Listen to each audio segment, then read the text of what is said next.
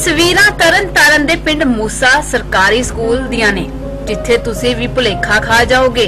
ਦਰਅਸਲ, ਜ਼ਿਲ੍ਹਾ ਤਰਨਤਾਰਨ ਦੇ ਪਿੰਡ ਮੂਸੇ ਦਾ ਸਰਕਾਰੀ ਸਕੂਲ ਬਿਨਾਂ ਕਿਸੇ ਸਰਕਾਰੀ ਸਹਾਇਤਾ ਦੇ ਸਮਾਰਟ ਸਕੂਲ ਬਣ ਕੇ ਸਿੱਖਿਆ ਦੇ ਖੇਤਰ ਵਿੱਚ ਇੱਕ ਮਿਸਾਲ ਬਣ ਚੁੱਕਾ ਹੈ। ਇਸ ਸਕੂਲ ਵਿੱਚ ਜਿੱਥੇ ਆਧੁਨਿਕ ਤਕਨੀਕੀ ਨਾਲ LED ਪੈਨਲ ਤੇ ਪੜ੍ਹਾਈ ਕਰਵਾਈ ਜਾਂਦੀ ਹੈ, ਉੱਥੇ ਹੀ ਸਕੂਲ ਵਿੱਚ ਵਿਸ਼ੇਸ਼ ਤੌਰ ਤੇ ਤਿਆਰ ਕੀਤੇ ਗਏ ਕੰਪਿਊਟਰ ਲੈਬ, ਸਾਇੰਸ ਲੈਬ ਤੇ ਲਾਇਬ੍ਰੇਰੀ ਦੇਖ ਕੇ ਮੱਲੋ ਮੱਲੀ ਵਿਦਿਆਰਥੀਆਂ ਦਾ ਪੜਨ ਨੂੰ ਦਿਲ ਕਰਦਾ ਹੈ। ਓਕੇ ਯੁੱਗ ਵਿੱਚ ਜਿੱਥੇ ਹਰ ਇੱਕ ਮਾਤਾ ਪਿਤਾ ਦਾ ਸੁਪਨਾ ਹੁੰਦਾ ਹੈ ਕਿ ਉਸ ਦਾ ਬੱਚਾ ਕਿਸੇ ਕਨਵੈਂਟ ਸਕੂਲ ਦਾ ਵਿਦਿਆਰਥੀ ਹੋਵੇ, ਉੱਥੇ ਹੀ ਪਿੰਡ ਮੂਸੇ ਦਾ ਸਰਕਾਰੀ ਹਾਈ ਸਕੂਲ ਇੱਕ ਚੰਗੇ ਕਨਵੈਂਟ ਸਕੂਲ ਨੂੰ ਵੀ ਮਾਤ ਦਿੰਦਾ ਹੈ। ਸਰਕਾਰੀ ਹਾਈ ਸਕੂਲ ਮੂਸੇ ਵਿਖੇ ਕਰਵਾਏ ਗਏ ਵਿਸ਼ੇਸ਼ ਸਮਾਗਮ ਦੌਰਾਨ ਸਕੂਲ ਦੇ ਪ੍ਰਿੰਸੀਪਲ ਨੇ ਆਏ ਹੋਏ ਮੁੱਖ ਮਹਿਮਾਨ ਗੁਰਪ੍ਰੀਤ ਸਿੰਘ ਨੂੰ ਇਸ ਸਰਕਾਰੀ ਸਕੂਲ ਵਿੱਚ ਵਿਦਿਆਰਥੀਆਂ ਨੂੰ ਦਿੱਤੀਆਂ ਜਾਣ ਵਾਲੀਆਂ ਆਧੁਨਿਕ ਸਹੂਲਤਾਂ ਦੀ ਜਾਣਕਾਰੀ ਦਿੱਤੀ।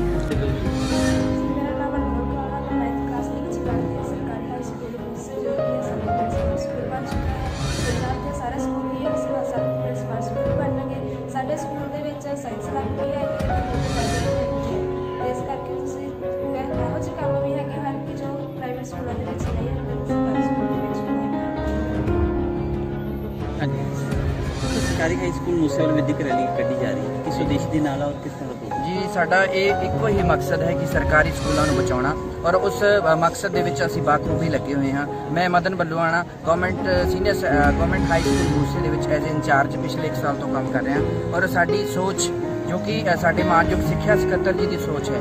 ਉਸ ਸੋਚ ਨੂੰ ਲੈ ਕੇ ਔਰ ਹਰ ਸਮੇਂ ਜੋ ਅ, ਉਹਨਾਂ ਦੀਆਂ ਅਗਵਾਈ ਭਰੀਆਂ ਲੀਹਾਂ ਨੇ ਉਹਨਾਂ ਤੇ ਚੱਲ ਕੇ ਅਸੀਂ ਇਸ ਨੂੰ ਇੱਕ ਕਨਵੈਂਟ ਸਕੂਲ ਬਣਾਉਣ ਜਾ ਰਹੇ ਹਾਂ। ਇਸ ਸਕੂਲ ਦੇ ਵਿੱਚ ਹਰ ਫੈਸਿਲਿਟੀ ਮਿਲੇਗੀ ਜੋ ਸ਼ਾਇਦ ਕਨਵੈਂਟਸ ਵੀ ਨਹੀਂ ਮਿਲੇਗੀ। ਔਰ ਬਾਇਓਮੈਟ੍ਰਿਕ ਜਿਹੜੀ attendance for students it is the best thing for our school and all areas ਔਰ ਬਾਕੀ ਜੋ ਚੀਜ਼ਾਂ ਨੇ ਕੈਮਰੇ ਹੈ ਐਲਈਡੀਜ਼ ਹੈ smart classroom all classes are smarts and ਇੱਕ ਸਮਾਰਟ ਰੂਮ ਸਪੈਸ਼ਲ ਬਣਾਇਆ ਹੈ ਲਾਇਬ੍ਰੇਰੀ ਦੇ ਵਿੱਚ ਸਾਡੇ ਕੋਲ 2000 ਬੁੱਕਸ ਨੇ ਔਰ ਵੈਨਸ ਦੀ ਬਹੁਤ ਜੋ ਕਿ ਬੱਚੇ ਦੂਰੋਂ ਦੂਰੋਂ ਆਉਣਾ ਚਾਹੁੰਦੇ ਸੀ ਔਰ ਉਹਨਾਂ ਦੀ ਸਮੱਸਿਆ ਵੈਨਸ ਦੀ ਪੇਰੈਂਟਸ ਨੇ ਆਪਣੇ ਆਪ ਹੀ ਸਾਡੇ ਸਕੂਲ ਦੀ ਕੁਆਲਿਟੀ ਨੂੰ ਦੇਖ ਕੇ ਔਰ ਗਵਰਨਮੈਂਟ ਸਕੂਲ ਦੇ ਵਿੱਚ ਔਰ ਆਉਣ ਵਾਲੇ ਜਿਹੜੇ ਏਰੀਆ ਚ ਸਕੂਲ ਨੇ ਰਵਿੰਦਰਾ ਇੰਟਰਨੈਸ਼ਨਲ ਪਬਲਿਕ ਸਕੂਲ ਹੈ ਇਸ ਦਾ famous school in the area ਉਸ ਸਕੂਲ ਦੇ ਬੱਚੇ ਮੇਰੇ ਕੋਲ ਦਾਖਲਾ ਲੈ ਰਹੇ ਨੇ ਪ੍ਰਾਇਮਰੀ ਸਕੂਲ ਨੂੰ ਅਸੀਂ ਕਲੱਬ ਕਰ ਲਿਆ ਅਸੀਂ ਇਸ ਹਾਈ ਸਕੂਲ ਅਲੱਗ ਨਹੀਂ ਹੈ। ਇਹਦੇ ਵਿੱਚ ਨਰਸਰੀ ਤੋਂ ਲੈ ਕੇ ਹੁਣ 10th ਤੱਕ ਪੜ੍ਹਾਈ ਹੋਏਗੀ।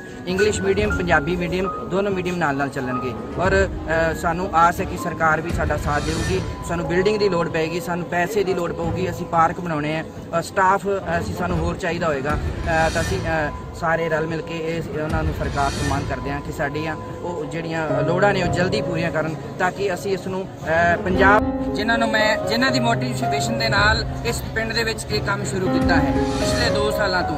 ਜੇਕਰ ਮੈਂ ਗੱਲ ਕਰਾਂ ਤਾਂ ਇਹਨਾਂ ਨੇ ਲਿਖਾਈ ਤੋਂ ਖੁਦਾਈ ਵੱਲ ਮੈਨੂੰ ਜੋੜਿਆ ਹੈ। ਜੇ ਇੱਕ ਕਿਤਾਬ ਲਿਖਣੀ ਹੋਏ ਤਾਂ ਪੂਰੀ ਮੈਂ ਲਿਖ ਸਕਦਾ ਕਿ ਕਿਸ ਤਰ੍ਹਾਂ ਲਿਖਾਈ ਦੇ ਨਾਲ ਖੁਦਾਈ ਤੱਕ ਪਹੁੰਚਣ ਦਾ ਇੱਕ ਜ਼ਰੀਆ ਹੈ ਇਹ ਲਿਖਾਈ। ਸੁੰਦਰ ਲਿਖਾਈ। ਸਾਡੇ ਸਕੂਲ ਦੇ ਬੱਚਿਆਂ ਦੀ ਰਾਈਟਿੰਗ ਸਾਰੇ ਮੈਨੂੰ ਲੱਗਦਾ ਆਲ ਏਰੀਆਜ਼ 'ਚ ਪ੍ਰਾਈਵੇਟ ਸਰਕਾਰੀ ਸਕੂਲਾਂ 'ਚ ਕਿਤੇ ਵੀ ਇਹੋ ਜਿਹੀ ਲਿਖਾਈ ਨਹੀਂ ਔਰ ਮੈਂ ਇਹਨਾਂ ਨੂੰ ਬਹੁਤ ਵੱਡਾ ਜਾਦੂਗਰ ਮੰਨਦਾ। ਬਹੁਤ ਵੱਡੇ ਜਾਦੂਗਰ ਨੇ ਔਰ ਇਹਨਾਂ ਨੇ ਜਾਦੂ ਕੀਤਾ ਹੈ ਔਰ ਮੇਰੇ ਤੇ ਜਾਦੂ ਕੀਤਾ ਮੇਰੇ ਬੱਚਿਆਂ ਤੇ, ਮੇਰੇ ਸਟਾਫ ਤੇ ਜਾਦੂ ਕੀਤਾ ਹੈ ਔਰ ਇਸ ਏਰੀਏ 'ਚ ਇਹਨਾਂ ਦਾ ਜਾਦੂ ਇੰਨਾ ਚੱਲੂਗਾ ਕਿ ਉਹ ਉਹ ਕੰਮ ਹੋਣਗੇ ਜੋ ਕਦੇ ਕਿਸੇ ਨੇ ਸੋਚੇ ਨਹੀਂ। ਥੈਂਕ ਯੂ ਵੈਰੀ ਮਚ ਹਾਂਜੀ, ਇੱਕ ਗੱਲ ਹੋਰ ਸੀ ਕਿ ਜੋ ਮੈਂ ਇਮੇਜਿਨ ਕਰ ਰਿਹਾ ਕਿ ਲੋਕ ਕਹਿੰਦੇ ਨੇ ਜਾਂ ਸਰਕਾਰਾਂ ਕਹਿੰਦੀਆਂ ਨੇ ਕਿ ਤੁਹਾਡੇ ਸਕੂਲ ਦੀ 20% 30% ਗਿਣਤੀ ਵਧਣੀ ਚਾਹੀਦੀ ਹੈ। ਔਰ ਮੈਂ ਜੋ ਫੀਲ ਕਰ ਰਿਹਾ, ਉਹ ਮੇਰੇ ਸਕੂਲ ਦੀ ਗਿਣਤੀ ਔਰ ਮੇਰੇ ਪ੍ਰਾਇਮਰੀ ਸਕੂਲ ਦੀ ਗਿਣਤੀ ਹੁਣ ਦੇ ਮੁਤਾਬਕ 200% ਵੱਧ ਰਹੀ ਹੈ। 200% ਸਰਕਾਰ ਕਹਿੰਦੀ 20% ਵਧਾਓ, ਲੇਕਿਨ ਅਸੀਂ 2% 200% ਗਿਣਤੀ ਵਧਾ ਰਹੀ ਹਾਂ। ਔਰ ਇਸ ਸਾਰੇ ਜਾਦੂ ਦੇ ਪਿੱਛੇ ਗੁਰੂ ਮੇਰੇ ਦਾ ਹੱਥ ਹੈ। ਔਰ ਉਹਦੇ ਨਾਲ ਨਾਲ ਮੇਰੇ ਇਸ ਪਿੰਡ ਵਾਸੀਆਂ ਦਾ, ਮੇਰੇ ਸਾਰੇ ਭਰਾਵਾਂ ਦਾ, ਇੱਥੋਂ ਤੱਕ ਕਿ ਮੇਰਾ ਪਿੰਡ Balluana ji government senior secondary school Balluana, ਇੱਕ ਸਰਕਾਰੀ ਸਕੂਲ ਦੇ ਵਿੱਚ ਪੜ੍ਹਿਆ ਹੋਇਆ ਵਿਦਿਆਰਥੀ ਮੈਂ, ਮੈਨੂੰ ਫਖਰ ਹੈ ਕਿ ਮੈਂ ਗਵਰਨਮੈਂਟ ਸਕੂਲ 'ਚ ਪੜ੍ਹਿਆ। ਔਰ ਮੈਂ ਇਹ ਵੀ ਫਖਰ ਕਰਦਾ ਕਿ ਮੇਰੇ ਇਸ ਬੱਚੇ ਗਵਰਨਮੈਂਟ ਸਕੂਲ 'ਚ ਮੈਂ ਉਹਨਾਂ ਨੂੰ ਐਡਮਿਸ਼ਨ ਕਰਾਤੀ ਹੈ ਕਿਉਂਕਿ ਉਹ ਕਿਤੇ ਨਾ ਕਿਤੇ ਰੁਕਾਵਟ ਬਣ ਰਹੀ ਸੀ ਮੇਰੀ ਅਹ, ਜਿਹੜਾ ਮੇਰਾ ਏਮ ਹੈ ਉਹਦੇ ਅਚੀਵ 'ਚ ਅਚੀਵਮੈਂਟ ਲਈ। ਔਰ ਮੈਂ ਸੋਚਦਾ ਕਿ ਮੇਰੇ ਬੱਚੇ ਨੂੰ ਮੈਂ ਪ੍ਰਾਈਵੇਟ ਕਨਵੈਂਟ ਸਕੂਲਾਂ ਨਾਲੋਂ ਵਧੀਆ ਪੜ੍ਹਾਈ ਦੇ ਸਕਦਾ।